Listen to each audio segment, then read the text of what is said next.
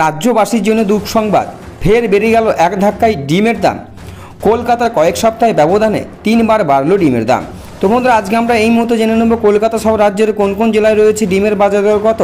তো বিস্তারিত জানিয়ে দেবো ভিডিওটিকে শেষ পর্যন্ত দেখবেন। ভিডিওটি ভালো লাগলে লাইক করবেন। চ্যানেলে প্রথম হয়ে থাকলে চ্যানেলটিকে সাবস্ক্রাইব করে আমাদের সঙ্গে থাকবেন।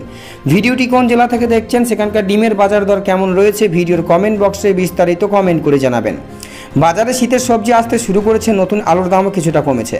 তবে আবারও বেড়েছে ডিমের দাম। এই নিয়ে কলকাতায় গত কয়েক সপ্তাহে ব্যবধানে তিনবার বেড়েছে ডিমের দাম। কলকাতায় ডিমের দাম পঞ্চাশ পয়সা বেড়ে এখন প্রতি পিস বিক্রি হচ্ছে ষাট টাকাতে। ফলে মাত্র কয়েক মাসের ব্যবধানে সেখানে ডিমের দাম বেড়ে গেছে প্রায় এক টাকা পঞ্চাশ পয়সা।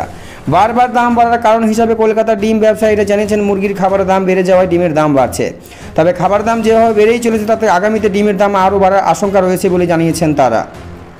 শুধু কলকাতা নয়, পশ্চিমবঙ্গের অন্যান্য জেলাগুলিতে বেড়েছে ডিমের দাম। মাসখানেক আগেও কলকাতা শহরতলি বাজারগুলিতে ডিমের দাম ছিল প্রতি পিস পাঁচ টাকা। এখন তা বিক্রি হচ্ছে অত্যন্ত ষাট টাকাতে।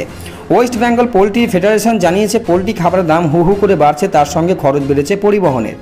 এর ফলে কলকাতা ও আশেপাশের শহরগুলিতে ডিমের দাম বাড়ানো হয়েছে বলে জানিয়েছেন তারা, যা আগামী দিনে আরও বাড়তে পারে ডিমের দাম, এমনটাই আশঙ্কা তাদের।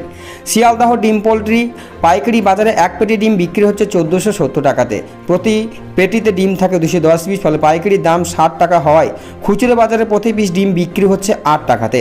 ডিমের দাম এভাবে বাড়তে থাকায় বিপাকে পড়ছেন মধ্যবিত্তরা। কলকাতার পার্শ্ববর্তী শহরাঞ্চল পানিহাটের গৃহবধূ স্বপ্না দেবনাথ বলেন, সকালের নাস্তা থেকে শুরু করে রাতের খাবার সব বেলাতে ডিম দরকার হয়। কিন্তু এর দাম হু হু করে বাড়লে প্রতিদিনই খরচ বাজেট ছাড়িয়ে যাবে।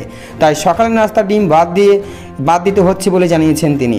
তো বন্ধুরা, এই ছিল আজকের লেটেস্ট আপডেট ভিডিওটি ভালো লাগলে লাইক করুন। চ্যানেলে প্রথম হয়ে থাকলে চ্যানেলটিকে সাবস্ক্রাইব করে আমাদের সঙ্গে থাকুন।